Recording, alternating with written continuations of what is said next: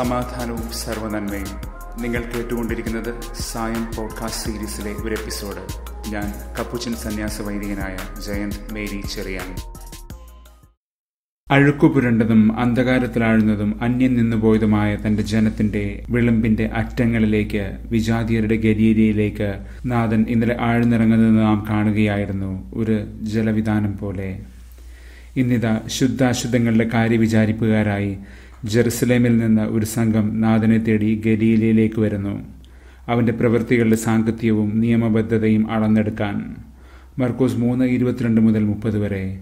അവർ അവനിൽ രണ്ട് കുറ്റങ്ങൾ കണ്ടെത്തുന്നുണ്ട് പ്രധാനമായിട്ട്. ഒന്ന് അവൻ പിശാജ് ബെൽസെബൂലിനാൽ ആവേശത്തിനാണ് എന്ന്.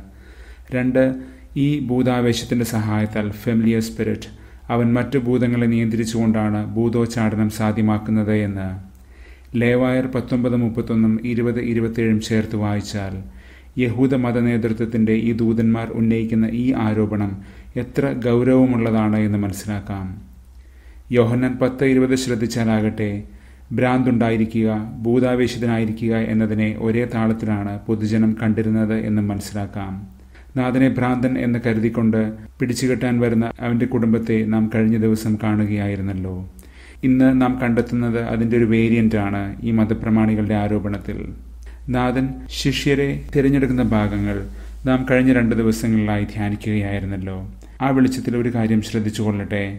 നാഥനെ ബെൽസെബൂൽ എന്ന് വിളിച്ചവർ തീർച്ചയായും അവന്റെ ശിഷ്യരെ അതിലുമേറെ അപമാനിക്കും. മത്തായി പത്ത് പതിനഞ്ച്. മാത്രമല്ല നാഥൻ തന്റെ ശിഷ്യരെ ദൈവരാജ്യത്തിന്റെ പ്രഘോഷണവുമായി അയച്ചപ്പോൾ അതിന്റെ ഫലമായി സാത്താൻ ഇടിമിന്നൽ പോലെ നിബന്ധിക്കുന്നത് അവൻ കാണുകയും ചെയ്തിരുന്നു. ലൂക്ക പത്ത് പതിനെട്ട്. ദൈവാത്മാവിന്റെ ശക്തി നമ്മിൽ എത്ര ബലപ്പെട്ട് പ്രവർത്തിച്ചാലും ലോകം അതിനെ ഭ്രാന്തായും ഭൂതാവേശമായി മാത്രമേ കാണൂ.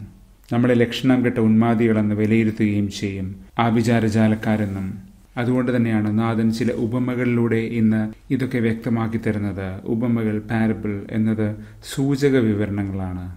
അതുകൊണ്ട് തന്നെ അത് കേൾവിക്കാരന്റെ മനോനിലയെ ആശ്രയിച്ചിരിക്കും. നാഥൻ പറയുന്ന വാദങ്ങൾ കേൾക്കുന്നവന് ഖണ്ഡിക്കാൻ വേണമെങ്കിൽ. പക്ഷേ അത് അവൻ സ്വീകരിക്കുമോ ഗണ്ഡിക്കുമോ എന്നത് അവന് നാഥനോടുള്ള ഐക്യത്തിന്റെയും സ്നേഹത്തിന്റെയും തോതനുസരിച്ചിരിക്കും. സാത്താന്റെ സാമ്രാജ്യം തകർച്ചയിലേക്ക് കൂപ്പൂത്തുകയാണ് അതിന് കാരണക്കാരൻ സാത്താൻ തന്നെ ആകാൻ സാധ്യതയില്ല. അത് ദൈവരാജ്യത്തിന്റെ പ്രവർത്തനം തന്നെയാണ്. നാഥൻ വാദിക്കുന്നത് ഇങ്ങനെയാണ്. തന്റെ പ്രവൃത്തികളിലൂടെ ദൈവശക്തി അത്ര സ്പഷ്ടമായും അലംഘനീയമായും പ്രവഹിക്കുന്നുവെന്ന് നാഥൻ ഓർമ്മിപ്പിക്കുന്നുമുണ്ട് ഇവിടെ. വേറെ ഒരു ഉപമ വിവരിക്കുകയാണ് നാഥൻ. ആദ്യമേ തന്നെ വീട്ടുടമസ്ഥനെ ബന്ധിച്ചിടാതെ കവർച്ച ചെയ്യാനാകില്ല എന്ന് പറയുമ്പോൾ. നാഥൻ ആദ്യമേ തന്നെ സാത്താനെ ബന്ധിച്ചു കഴിഞ്ഞു. തന്റെ മരുഭൂമിയിലെ പരീക്ഷയെ അതിജീവിച്ചപ്പോൾ മർക്കോസ് ഒന്ന് ആ ഒരു വിജയമുഹൂർത്തം അവൻ തിന്മയുടെ മേൽ നേടുന്ന പ്രാപഞ്ചിക കോസ്മിക് വിജയത്തിന്റെയും കാലിക പൂർണത എസ്കിറ്റോളജിക്കൽ വിക്ടറിയുടെയും നാന്ദി കുറിക്കുകയാണ് പരമമായ വിജയത്തിന്റെ ചെറിയ ചുവട്. പക്ഷേ അതൊരു ചെറിയ കാര്യമല്ല വലിയ വിജയത്തിന്റെ ആദ്യപടിയാണ്. അങ്ങനെ സാത്താനെ നാഥൻ കെട്ടിവരിഞ്ഞു കഴിഞ്ഞു. ഇനി അവൻ ആ വീട് മുഴുവൻ കൊള്ളയടിക്കും. സാത്താന്റെ സാമ്രാജ്യത്തിന്റെ അടിവേര് മറിക്കും. ഇന്നലെ ഏഷ്യ ഒമ്പത് രണ്ട് പറഞ്ഞ കൊള്ള മുതൽ പങ്കിടുന്നവന്റെ ആനന്ദം ഇതുതന്നെയാണ് എന്ന് തോന്നുന്നു.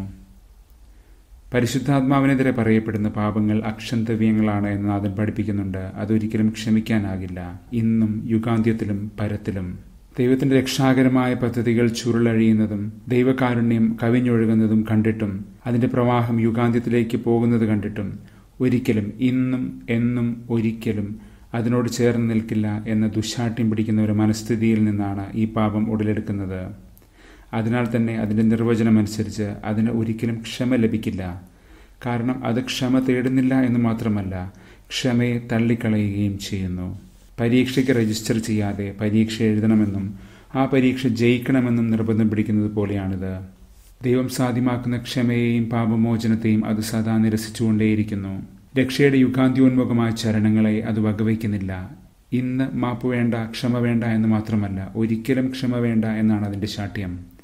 ഫൈനൽ ഇംപെനിറ്റൻസ് എന്ന് നാം ഇതിനെ വിളിക്കാറുണ്ട്. ഒരിക്കലും ദൈവത്തിലേക്ക് പിന്തിരിയില്ല എന്ന പിടിവാശി. ഇന്നലെ സുവിശേഷത്തിൽ നാഥന്റെ ആഹ്വാനം നാം ശ്രദ്ധിക്കുകയായിരുന്നല്ലോ. അനുദപിക്കുവൻ സുവിശേഷത്തിൽ വിശ്വസിക്കുവൻ ദൈവരാജ്യം സമീപിച്ചിരിക്കുന്നുവെന്ന് അതിനാൽ ഈ ഒരിക്കലും അനുസ്തപിക്കില്ല എന്ന ചിന്താഗതി സുവിശേഷത്തിന്റെ ഘടകവിരുദ്ധമായി നാം മനസ്സിലാക്കണം. പുറപ്പാട് ഇരുപത്തിമൂന്ന് മുപ്പത് മുതൽ മുപ്പത്തൊന്ന് വരെയുള്ള ഭാഗത്ത് ദൈവം തന്റെ വാഗ്ദാനം അനുസരിച്ച് തന്റെ ജനത്തിന് നൽകുന്ന അവകാശത്തെ വിവരിക്കുന്നുണ്ട്. അതിനെ ചുറ്റിപ്പറ്റി ചില താക്കീതുകളും ചെയ്യുന്നുണ്ട്. ഇന്നലെ നാം കണ്ട കടൽ വഴി ജലത്തിന്റെ വഴി തന്നെയാണ് നാം അവിടെയും കാണുന്നത്. കടലുകൾ കൊണ്ട് ദൈവം തീർത്ത ഒരു സംരക്ഷണ വലയം. ഈ സംരക്ഷിത വ്യവസ്ഥയെ ലംഘിക്കാൻ ശ്രമിക്കുമ്പോൾ ചില അപകടങ്ങൾ സുനിശ്ചിതമായി വന്നു ചേരും. പരിശുദ്ധാത്മാവിനെതിരായി ചെയ്യുന്ന പാപങ്ങളെക്കുറിച്ച് താക്കീത് ചെയ്യുമ്പോൾ ഇതേ സാമ്യമാണ് ഉണരുന്നതെന്ന് വേദവ്യാഖ്യാതാക്കൾ വിവരിക്കുന്നുണ്ട്.